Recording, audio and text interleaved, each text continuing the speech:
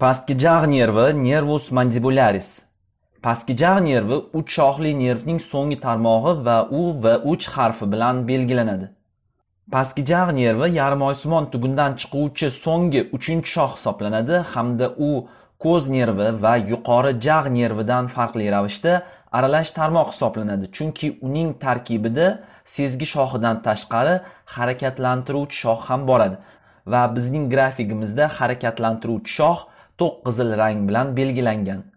Pastki jag nervi kalla bo'shlig'ini avalsimon teshik foramen avali orqali tark etadi va ushbu avalsimon teshik orqali pastki jag nervi chakka osti chuqurchasiga o'tadi. Chakka osti chuqurchasini ko'rish uchun kalla suyagiga biroz qiyaroq va pastdan qaraymiz va aynan shu sohadan e, chakka osti chuqurchasi yaxshi ko'rinadi. Men ushbu chakka osti chuqurchasi chegaralari yaqqol ko'rinishi uchun uni qizil rang bilan belgilab qo'yganman.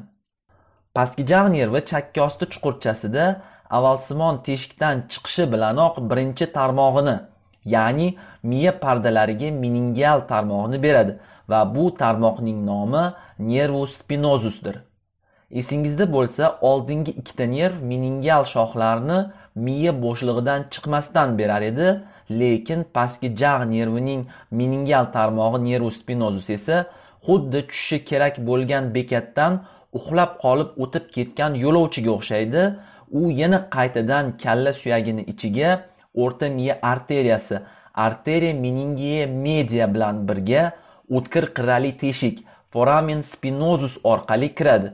Xuddi o'ziga hamroh topib taksida o'zini bekatiga qaytgan yo'lovchiga o'xshaydi.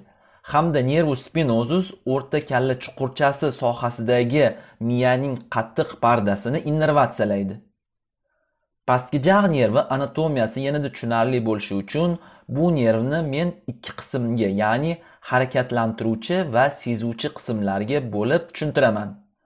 Parallel ravishda ekranni pastki chap qismida sxematik ko'rinishda harakatlantiruvchi va sezuvchi qismlardan chiquvchi shoxlar ko'rsatib boriladi.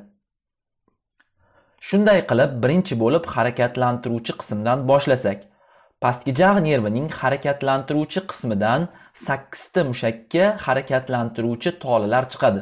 Ularni to'rt plyus to'rt deb eslab qolsangiz bo'ladi ya'ni to'rtta chaynov mushagiga hamda to'rtta alohida mushaklarga. Bunda to'rtta chaynashda qatnashuvchi mushaklarga tashqi va ichki qanotsimon mushaklar musculus tergayde medialis hamda musculus tergayde lateralis chaynov mushagi musculus masseter hamda to'rtinchi e, chaynashda ishtirok etuvchi mushak chakka mushagi musculus temporalislar kiradi. Hamda ular harakatlantiruvchi tarmoqdan chiquvchi o'zini nomidagi nervlar ya'ni qo'shtirnoq ichida adash nervlar bilan innervatsiyalanadi. To'rtta yordamchi mushakka nog'ora pardani taranglashtiruvchi mushak musculus tensor tympani bu mushak juda kichik bo'lgani uchun kattalashtirilgan rasmini ko'rsatdim. Navbatdagi mushak tanglayni chodirini taranglashtiruvchi mushak musculus tensor veli palatini.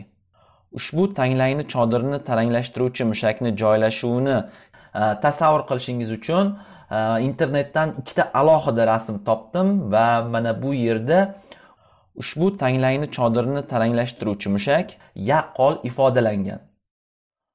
Uchinchi yordamchi mushak bu pastki jag tilosti mushagi musculus miahiaideus va so'nggi yordamchi mushak bu ikki qorinchali mushakning oldingi qorinchasi venter anterior musculus digastriki kiradi. Bu yerda ham ushbu mushaklarni nomiga mos ravishda nervlar chiqadi. Shunday qilib pastki jag nervini harakatlantiruvchi qismini o'rganib oldik endi sezgi qismini ko'rib chiqamiz. Va chalkashlik bo'lmasligi uchun ekranimizdan harakat tolalarini vaqtincha o'chirib turaman. Pastki jag nervining sezgi bo'limidan esa to'rtta nerv chiqadi. Ularning birinchisi nervus lingualis ya'ni til nervi. U ikkita qanotsimon mushaklarni orasidan o'tadi. Tashqi qanotsimon mushakni yuqori qirras sohasida til nerviga o'tkir burchak ostida yuz nervining xorda timpani tarmog'i birikadi. Xorda timpanining tarkibida nervus lingualisga til osti va jag osti bezlari uchun parasimpatik tolalar qo'shiladi. Til nervi jag' osti bezi yo'lini aylanib o'tadi ya'ni uning ostidan aylanib o'tadi va tilning uchdan ikki qismidan sezgini qabul qiladi. Pastki jag' nervidan chiquvchi ikkinchi sezgi nervi bu nervus alveolaris inferior. U pastki jag' nervining eng yirik tarmog'i hisoblanadi va u e, pastki jag' ichida joylashgan kanal kanalis mandibularisga shu nomli arteriyalar bilan birga kiradi va pastki jag' tishlariga e, alveolar nervlarni beradi. Ushbu nervlar bevosita tishlarga kirishdan oldin yana bir biri bilan kommunikant tarmoqlarni hosil qiladi. Nervus alveolaris inferior pastki jag' kanalidan e, foramen mentali orqali chiqadi. Foramen mentalidan chiqqandan so'ng ushbu nerv dahan nervi nervus mentalis nomi bilan ataladi va u iyakni pastki labni va uni shilliq qavatini innervatsiyalaydi. Sezgi qismidan chiquvchi uchinchi tarmoq bu nervus buccalisdir bu yerda ushbu nervning bir o'ziga xos xususiyati bor. Ya'ni nerv e, mushak nomi bilan atalishiga qaramay u sezgi nervi hisoblanadi va e, lunjni ichki shilliq qavatidan e, nerv signallarini ya'ni sezgini qabul qiladi. Va pastki jag' nervi sezgi qismining so'nggi tarmog'i bu quloq chakka nervi nervus auricula temporalisdir u pastki jag' nervini orqa sohasidan ikkiga bo'lib boshlanadi va arteriya mingi mediani quchoqlab olib yana birlashadi. Hamda u quloq oldi bezini ichidan o'tadi va chakka yuzasi sohasiga chiqadi. Bu yerda u o'zining so'nggi tarmoqlarini beradi.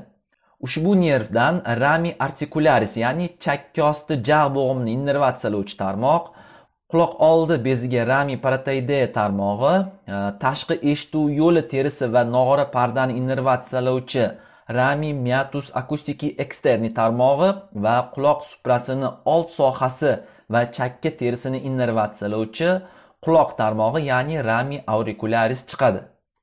Shunday qilib pastki jag' nervi o'zining sezgi shoxlari orqali pastki labni iyakni yanoqni pastki qismini quloq tog'ayini tashqi eshituv yo'lini oldingi qismini yanoq shilliq qavatini og'iz tubini pastki jag' tishlarini hamda tilning oldingi uchdan ikki qismini innervatsiyalaydi. Harakat shohi orqali esa yuqorida ko'rib chiqilgan sakkizta mushakni innervatsiyalaydi. Men bugungi darsimda pastki jag' nervini soddalashtirilgan ikki qismga bo'lib oldim ya'ni harakatlantiruvchi va sezuvchi qismlarga. Lekin ba'zi adabiyotlarda ushbu nerv ikki emas balki uch qismga bo'linadi ya'ni tana old va orqa qismlarga. Tana qismdan sezgi tolasi bo'lgan meningial tarmoq nervus spinozus hamda uchta harakatlantiruvchi tarmoq nervus pterygoideus medialis hamda nervus tensor timpani va tensor veli palatiniga shoxlar chiqadi. Old qismdan ham bitta sezgi shoxi ya'ni nervus buccalis hamda uchta harakatlantiruvchi shox nervus masseter nervus temporalis va nervus pterygoideus lateralislar chiqadi.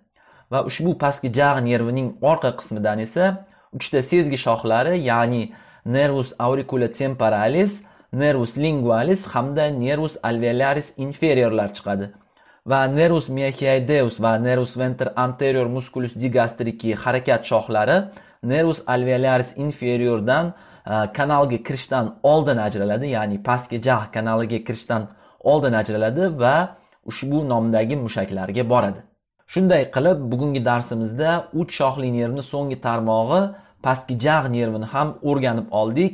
Hamda shu bilan birga uch shoxli nerv anatomiyasiga bag'ishlangan videolarimiz yakuniga yetdi va o'ylaymanki videolarimiz sizga manzur bo'ldi.